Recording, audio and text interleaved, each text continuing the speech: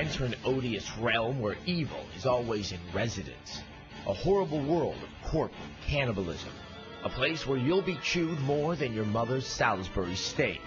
Where bodily fluid will flow more liberally than A1 on flavorless meatloaf.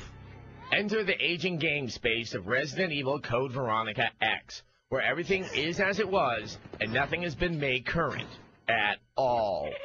Umbrella Up game fans, it's raining guano as Veronica X plods from a GameCube near you in all its year 2000 original release splendor. It's Moaning Zombies Ahoy as you navigate the endless archipelagos of dimly lit dread, killing and collecting on the road to salvation.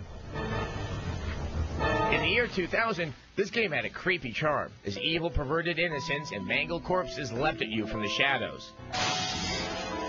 In 2004, fear is replaced with brain-clearing frustration as you flip the switch on some gizmo, only to realize you're missing the butternut squash of destiny necessary to spring someone from a locked room or door.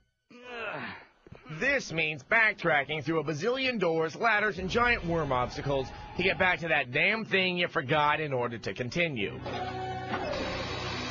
Walking and running mechanics are also made faithfully frustrating as you move, stick, and press buttons wildly trying to target the wandering legion-covered skin suits that block your path.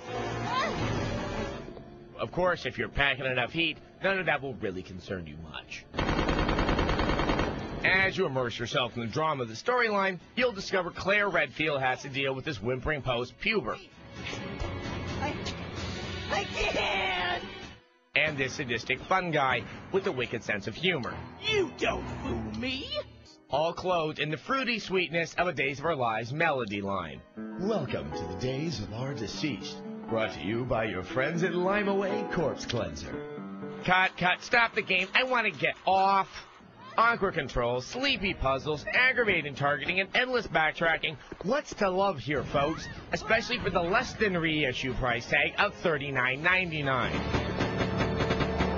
For those of you this game gave that creepy feeling to all the way back in 2000, you can have that nostalgia back again. For us, its expiration date is long past. We give it a 1 out of 5. Father!